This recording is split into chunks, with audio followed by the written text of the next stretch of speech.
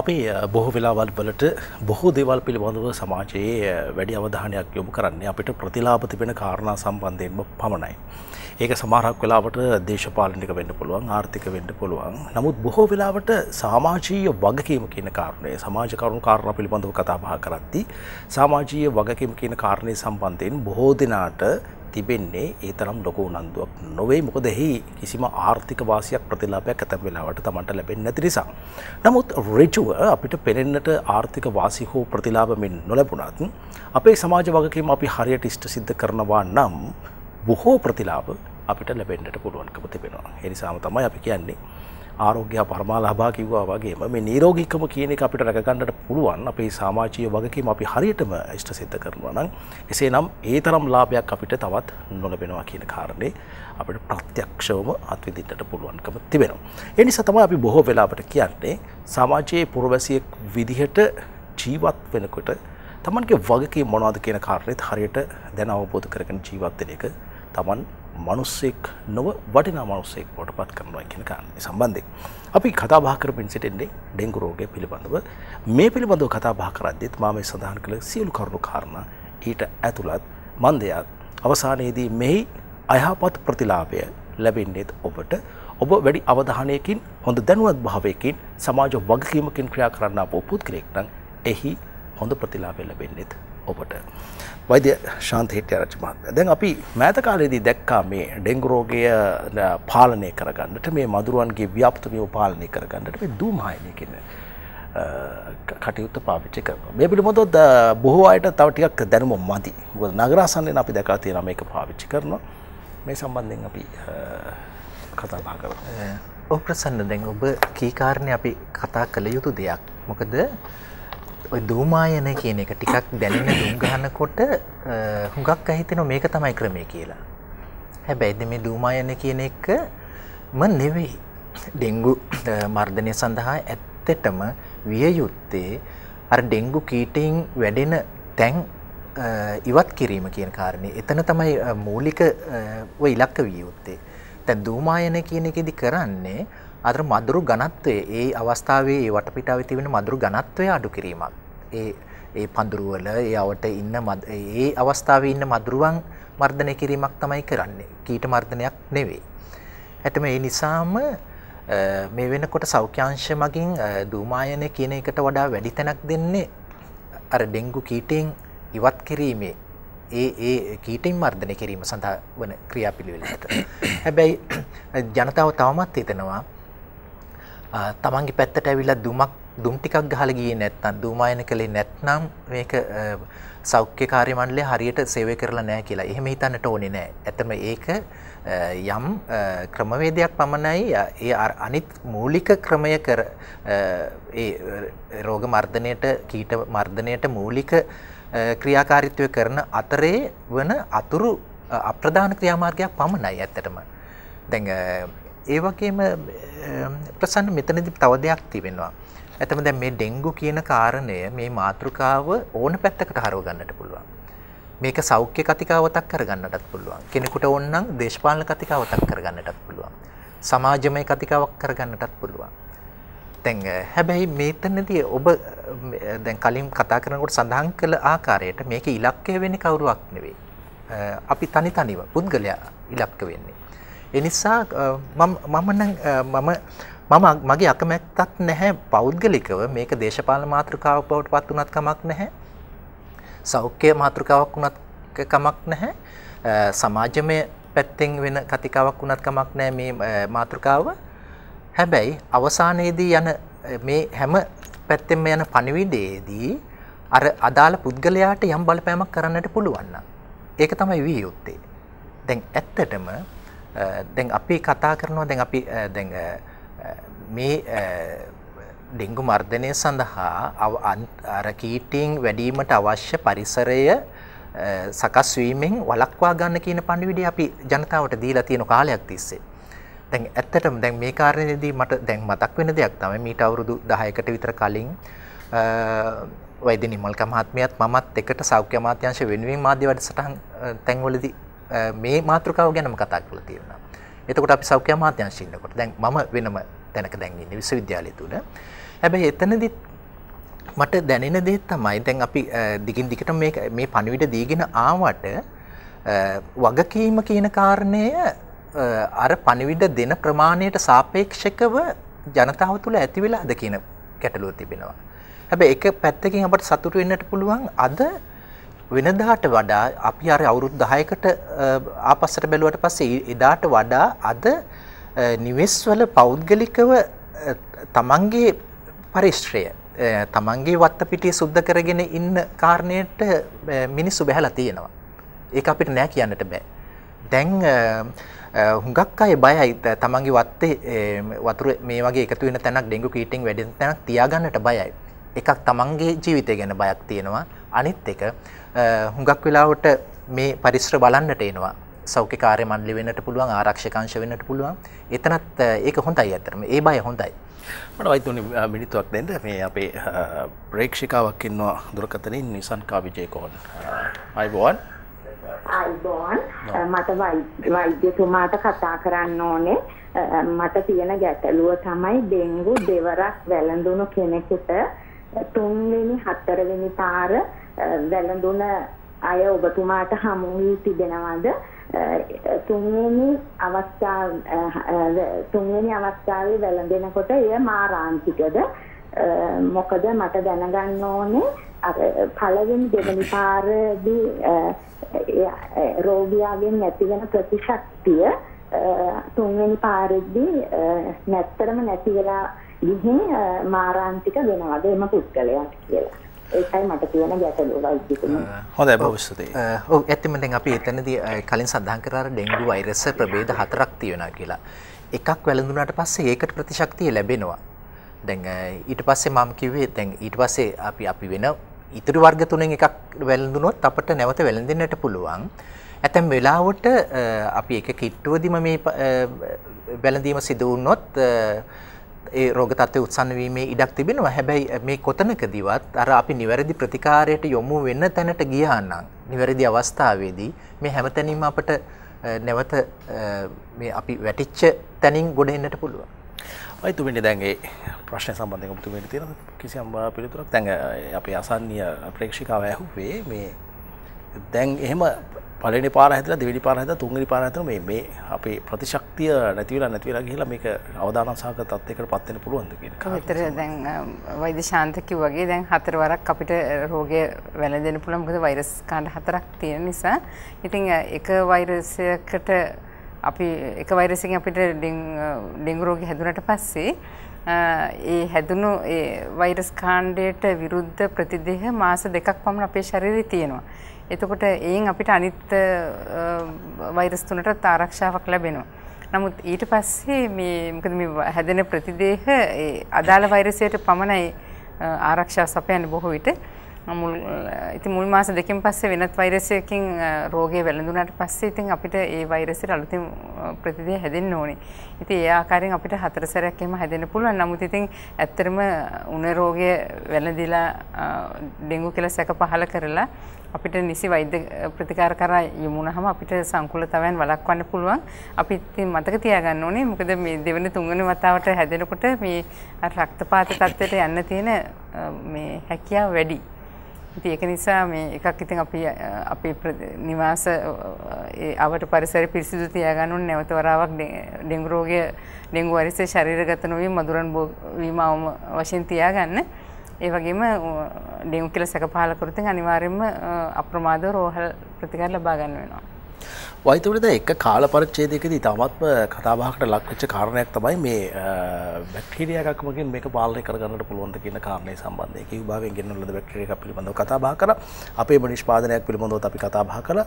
දැන් මේ වන විට එතරිනුත් එහාට ගිහලා නව තාක්ෂණික ක්‍රමවේදයන් පිළිබඳව කතා බහ කරමින් සිටිනවා. අපි පොඩ්ඩක් මේ පිළිබඳව කතා බහ කරමු. මොකද දැන් බැක්ටීරියාගේ තත්ත්වය? ඩෙංගු රෝග වාහක මර්ධනය සඳහා මේ ක්‍රමෝපායන් කීපයක් තියෙනවා. ඉතින් මේ බැක්ටීරියාව යෙදවීමත් එක ක්‍රමයක් විතරයි. මොකද ඩෙංගු මර්ධනය කියන එක සාමූහික ප්‍රයත්නයක්. ඒක ඇත්තට සෞඛ්‍ය අමාත්‍යාංශ විතරක් නෙමෙයි අනිත් අමාත්‍යාංශ ගොඩක් එකතු වෙන්න ඕනේ. මේ බෝන ස්ථාන ඉවත් කිරීමට. ඒ වගේම මර්ධනය කිරීම සඳහාත් සාමූහික කියන්නේ මේ අපි කියන එක ඒකාබද්ධ වාහක ක්‍රමයක් කියලා. ඒක ක්‍රමයට වඩා අපිට යොදවන්න වෙනවා. දැන් අපි දුම් වසංගත තත්ත්වයක් තියෙනවා නම් අපිට දූමායන කටයුතු සිදු කරන්න වෙනවා. මොකද අර පියාඹින මදුරන්ට වෛරසය ගෙනියන්නේ මදුරුව. රෝගියෙක්ගෙන් තව රෝගියෙකුට. ඉතින් ඒක නිසා අපිට දූමායන කටයුතු සිදු කරන්න වෙනවා වගේම බෝවන ස්ථාන ඉවත් කිරීම, නීතිමය මාර්ග කටයුතු කිරීම, ඒ වගේම මේ බැක්ටීරියා යෙදවීමත් අපිට ඉවත් කරන්න බැරි තැනකට දැන් අපි දන්න යෝගට් කෝප් එක ටයර් එකක තියෙනවා නම් මදුරු බෝ වෙන කීටයෝ ඇති වෙන තරම් වතුර එකතු වෙලා අපි මේ වගේ තැනකට මේ බැක්ටීරියාව දමමින් යන එක කිසිම තේරුමක් නැහැ. මොකද ඒකට අපිට අවශ්‍ය වෙන්නේ අපි ඒ ගැන කල්පනා කළ එක ඉවත් කිරීමට කටයුතු විතරයි. මොකද බැක්ටීරියාවක් එතනට යොදවන්න ගියාම බැක්ටීරියා සඳහා යන වියදම සහ කාලයත් එක්ක බලනකොට අපිට ඒකට මේ ඒක අපිට ඒක ලාභදායී ක්‍රමයක් නෙමෙයි. සමනම සමහර තැන් තියෙන අපිට ඉවත් කරන්න බැරි ස්ථාන අපි තුමු දැන් අපේ වතුර ටැංකියක් තියෙනවා නම් ජලය ගබඩා කරලා තියෙන වතුර ටැංකියක් තියෙනවා නම් අපිට ඒක ඉවත් කරන්න බෑ. ඒ වගේ තැන් වලට අපිට සමහර වෙලාවට මේ බැක්ටීරියාව යොදවන්න පුළුවන් අවස්ථාවක් මොකද මේක වහලා අපිට මේ දැලකින් වහලා තියන්න බැරි නම් සමහර අවස්ථාවලදී ඒ වගේ ක්‍රමයක් යොදවන්න වෙයි. නමුත් මේ බැක්ටීරියාවගේ ක්‍රියා කරන කාල සීමාව වෙන්නේ සාමාන්‍යයෙන් සතියක් දෙකක් දින 10ක් දවස් 14ක වගේ කාලයක්. ඉතින් ඒ කියන්නේ අපි මේ සති දෙකකට සැරයක්වත් අවම වශයෙන් මේ බැක්ටීරියාව ඒ වගේ තැනකට දාන්න ඕනේ.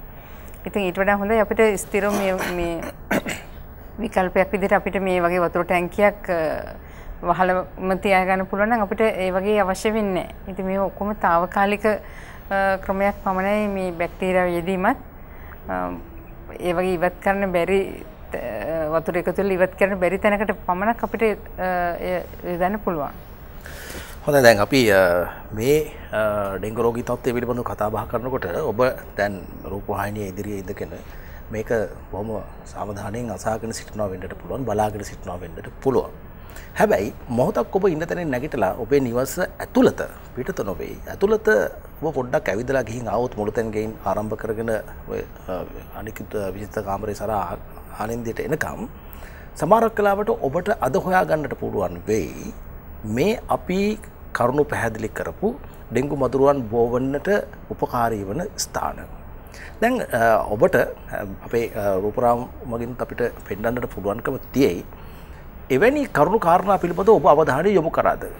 ඔබේ ශීත කරණය ළඟට ඔබ ගිහිල්ලා හොයලා තියෙනවද? බලලා තියෙනවද? ඔබේ නිවසේ වතුර ටැංකිය පිළිබඳව ඔබ බලලා තියෙනවද? මේ මේ මේ මේ මේ ස්ථාන පිළිබඳව අපි පොඩ්ඩක් පැහැදිලි කරගමු වෛද්‍යතුමනි. මේ අපිට රූපරාමුලින් දකින්න අපි දැන් මේ ගෙදර අලංකාරයට හදන මල් පෝච්චි. ඊළඟට තිබෙනවා වතුර ටැංකියක්. ඊළඟට තිබෙනවා මේ විවිධාකාර ස්ථානගේ ඇතුළෙම තියෙන ජලය රැඳී පවතින ස්ථාන. අපි පිපුද වැඩි අවධානයක් යොමු කරන්න. ඔව් දැන් මේ ශාක ගත්තාම දැන් ඊඩිස් වර්ගය ඊඩිස් ඇල්බෝපික්ටස් කියලා අපි කිව්ව වර්ගයේ මధుර බිත්තර දැන් වැඩිම කැමති මේ බ්‍රොමීලියා වගේ ශාකවල අගිස්සේ වතුර එකතු වෙනවා. දැන් ඒ පැලයක් අනිත් පැත්ත ගෙවුවම අපි දන්න සමහරකට වතුර මිලිටර් 100ක් 200ක් වගේ ප්‍රමාණයක් ඒකේ රැඳිලා තියෙනවා. ඉතින් මේ වගේ තැනකට අපි වතුර වක්කනකොටත් ගහේ කරටියට වගේ වතුර දානකොට ඒ උඩ වතුර රැඳෙනවා. ඉතින් මේවා අපි කියන්නේ මේවා වගා කරන්න මේ එපා කියලම අපි කියන මොකද මේක කවුරුවත් මේක අගිස් වතුර මේ හැංගිලා වගේ මේ කීටන් ඉන්නේ. ඉතින් අපි දැකලා තියෙන මේවායේ මේ මදුරන් බෝ වෙනවා. ඉතින් සමහරකට දැන් මේ රම්ප වගේ ශාකවල ඇත්තටම මේ අපි සුළු ප්‍රමාණයක් එමෙ දැකලා තියෙන නමුත් ඉතින් ඊට වඩා ප්‍රධාන වෙන්නේ මේ ඉවතලන භාජන. සමහරක් විට අපි දකින මේ ගස් වෙන. ඉතින් මේ වගේ තැන්වලට අපිට පුළුවන් මේ කොන්ක්‍රීට් වගේ දෙයකින් ඒ ගස් වෙන ඒ සිදුරු වහ දාන්න. දැන් මේ උණු පුරුක්කෙම අපි දකිනවා. මේව ඇත්තටම මේ අපේ අපේ සමීක්ෂිතද සමීක්ෂණ සිදු කිරීමේදී ගත්ත ඡායාරූප මේ තියෙන්නේ. මේ උණු පුරුක වුණත් අපි කියන්නේ මේ ඒ වගේ තැන් අර මේ වතුර එකතු වෙන්නේ නැතුව බදාමකින් වගේ වහලා තියන්න කියලා.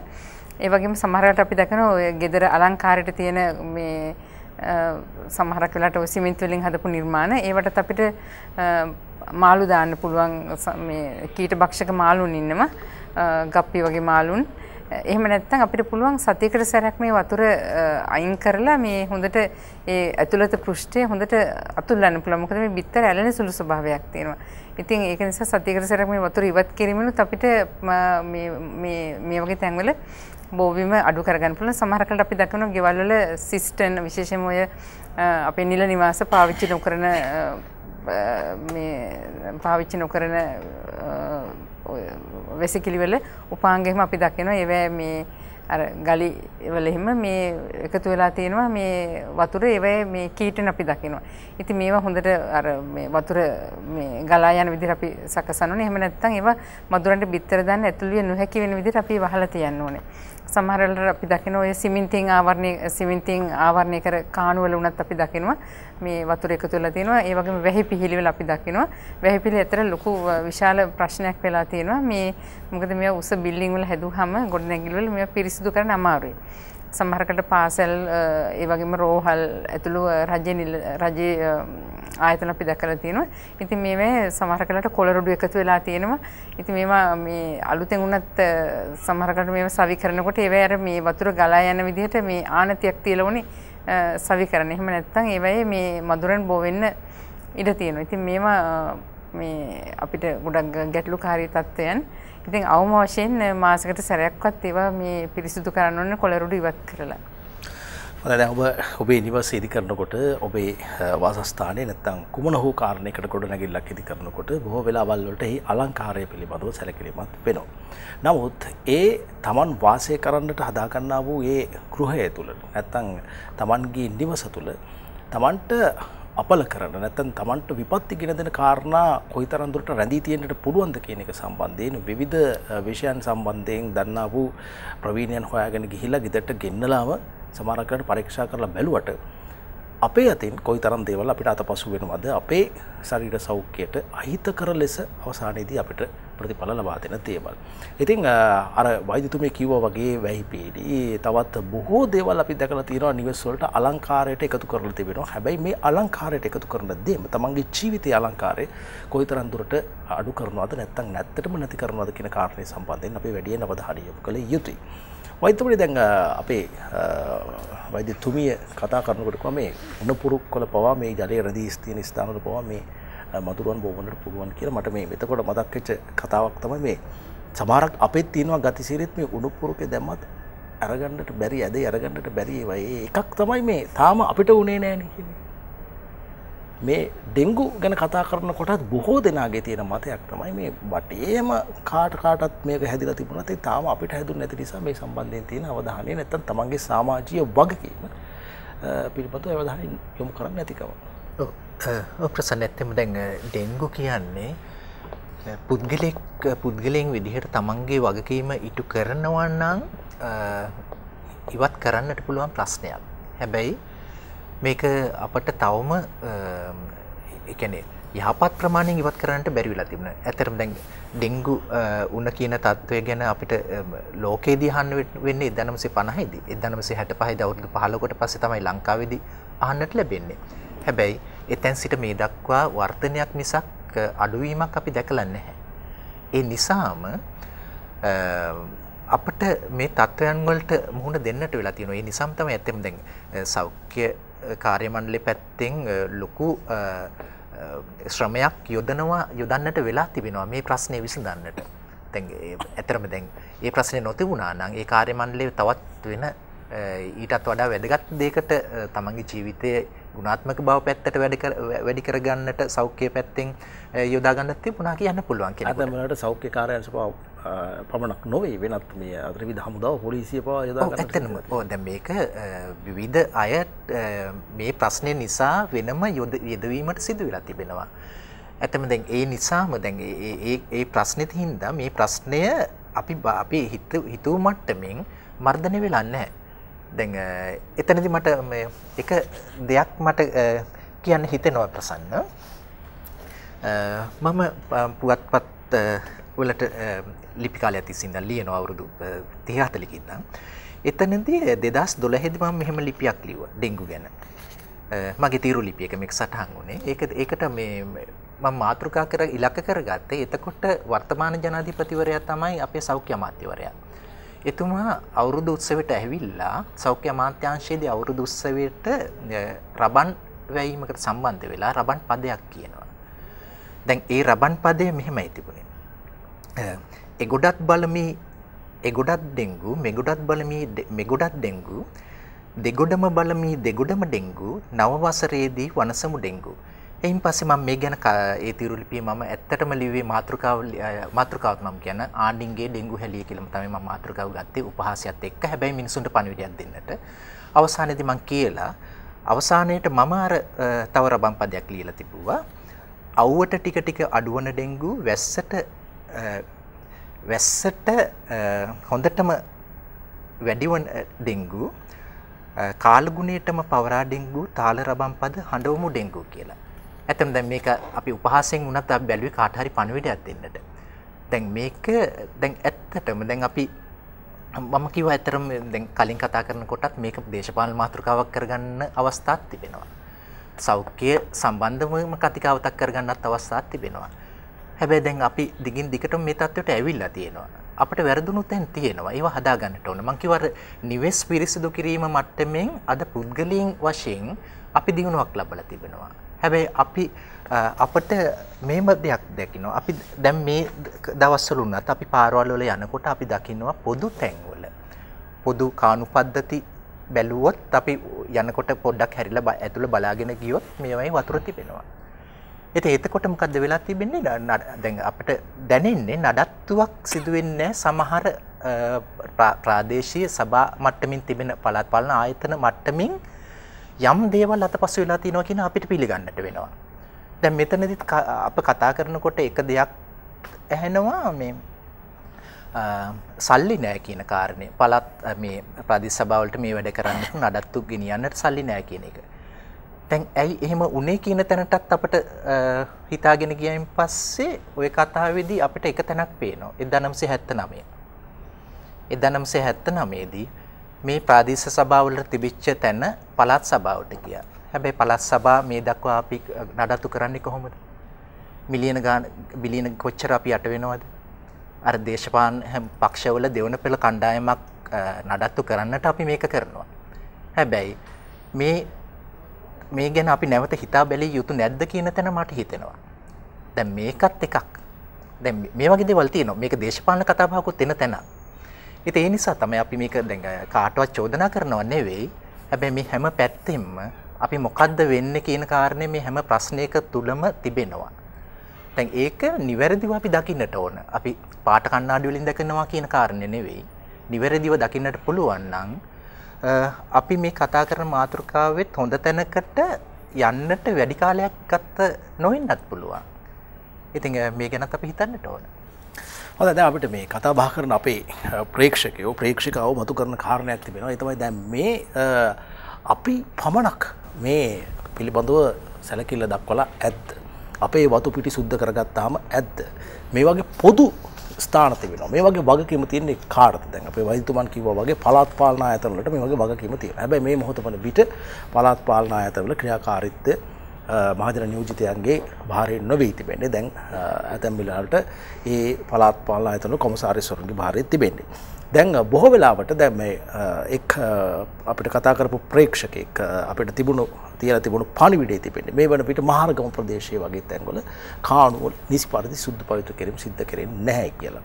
ඉතින් දැන් මේ වගේ දේවල් පිළිබඳව කතාබහ කරනකොට මේ අපි කොයිතරම් දුරට අපේ වගකීම ඉෂ්ට කරාද කියන කාරණේ පිළිබඳව බැලුවත් නැත්නම් අපේ වගකීම පිළිබඳව අපේ වගකීම තැන පිළිබඳව අපි වගකීම් ස්ථානය පිළිබඳව අපි කොයිතරම් දුරට අපේ අවධානය යොමු කළත් ඇතැම් වෙලාවල් වලට පොදු ස්ථාන පිළිබඳව ඇත මේ බොහෝ වෙලාට වගකීම් පැහැරහැරමින් තිබෙන අවස්ථාවක් අපිට දකින්නට පුළුවන්කමක් තිබෙනවා. ඉතින් ඒවත් එක්තරා විදිහකට හේතු සාධක බවට පත් මේ ඩෙන්ගු වසංගත තත්ත්වයක් දක්වා පැතිරීමට නැත වර්ධනය වීමට කරුණක් ලෙස.